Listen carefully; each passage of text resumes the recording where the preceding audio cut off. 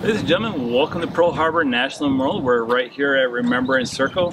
Now, right behind us is the list of names of the, the casualties here at Pearl Harbor. We have uh, names from the Navy, Army, Air, Army Air Forces, Marine Corps, and civilians.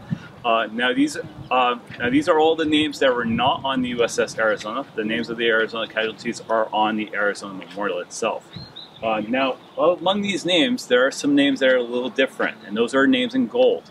Uh, that would indicate that it was a um, recipient of the Medal of Honor, and that is a standard throughout all military uh, cemeteries in the United States. Now, among these names, you're going to see uh, Captain Bennion of the USS West Virginia. He ordered his ship to be counterflooded so it allowed the, the ship to sink uh, uh, straight down. Uh, and then you also, among these names, you also see Francis Flaherty, who was an ensign on board the USS Oklahoma.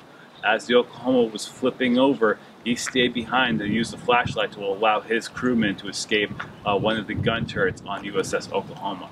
Unfortunately, both uh, Flaherty and Bennion uh, lost their lives here at the attack on Pearl Harbor. Now, among these uh, names you are not going to see uh, that was also a recipient of the Medal of Honor here at Pearl Harbor was uh, Chief Ordnance, Aviation Ordnanceman John Finn. Now, John Finn was stationed over at Kaneohe Bay, which is over on the east side of the island. One of the first places to be hit here uh, on December 7th, 1941. Now we woke up that morning and to the sound of uh, planes flying in areas where there shouldn't have been planes. And he also was uh, heard the gunfire and the explosions. And we rushed out of his uh, house, uh, got into his car, uh, and drove to his to his duty station on the runway to make sure that nothing was happening to his aircraft. But unfortunately, when he got there, saw many of his uh, seaplanes or PBY Catalinas were already on fire and destroyed.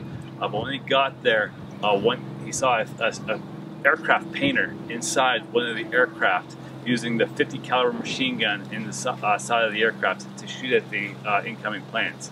Uh, but what he did, so he ordered the, uh, the painter to leave the aircraft to bring and bring the 50 caliber with them because he knew he was a better shot than the painter.